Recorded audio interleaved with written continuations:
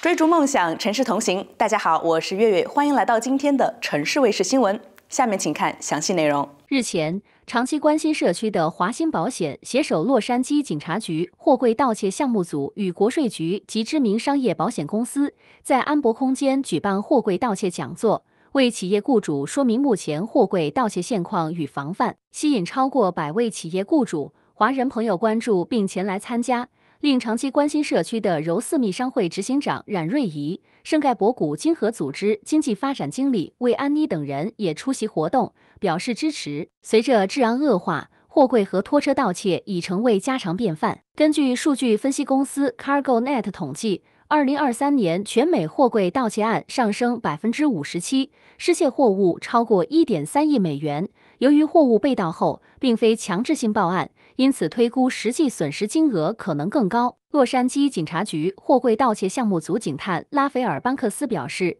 南加州货柜盗窃属全美最严重。有在场货运仓储业者就表示，自己就是苦主，甚至一个月内货柜被盗取四次以上。还有人说，就算请了保全，也没改善情况。光天化日下，货柜也被偷。根据货物风险管理公司预测。二零二四年货柜盗窃案将再增加百分之三十五。他的货在火车上面运输的时候，很可能钥匙那个锁被别人解开了以后，那可是因为他那个这个是都那个冷冻柜里面是食品，所以他整个柜子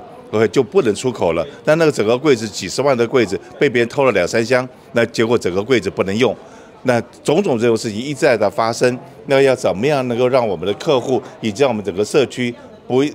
我相信没有几个公司能够承受一次几十万甚至上百万的这样损失，所以我们特别开了这样子的 seminar。那另外一个例子就是在这个一个月以前发生的事情，是我们的一个客人，他真的是就是被假提单把他的货提走了以后，那可是因为他们公司的 procedure，他们知道说这个货车来提东西的时候应该要收集什么样的资料，他们把这个呃 driver 的 information 什么东西都已经拿得非常的全。这样子的话，OK，那个当他们的货不见的时候，他们找到 driver，知道 driver 把货送到哪里去了，然后经过警察局的帮忙，这样一路路路追，把把整个货全部追回来，让他们损失要降到最低。所以种种这种事情的话，我们讲说，我们需要让社会社区知道，所以今天特别办了这样的身份呢。目前货柜盗窃情况包括货柜被有心人提到他处。误触钓鱼网站填写提货报价单，取货人假冒身份取货等。洛杉矶警察局货柜盗窃项目组警探拉斐尔·班克斯也在场分享防范技巧，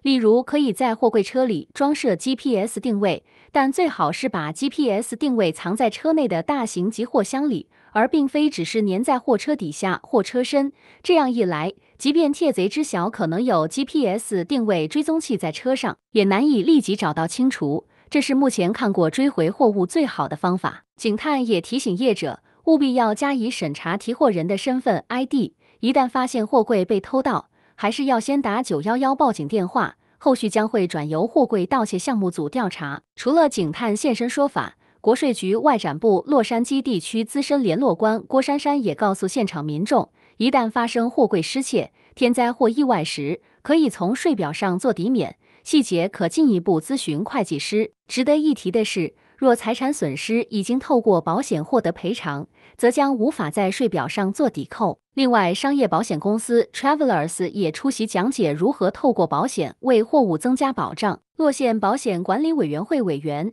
华兴保险总裁张国兴呼吁：防范于未然，才能降低巨大损失。因为一旦货物损失金额过高，在目前保险一单难求的大环境下，恐怕面临断保危机。华鑫保险数月前才刚举办劳工法与税务讲座，造福加州华人企业雇主。近期又因货柜盗窃案层出不穷，为社区与华企的共荣发展，华鑫保险则立即整合民众与社区需求，举办货柜盗窃讲座，期盼提供有力信息，让华人社区与华企都能安居乐业、稳步前行。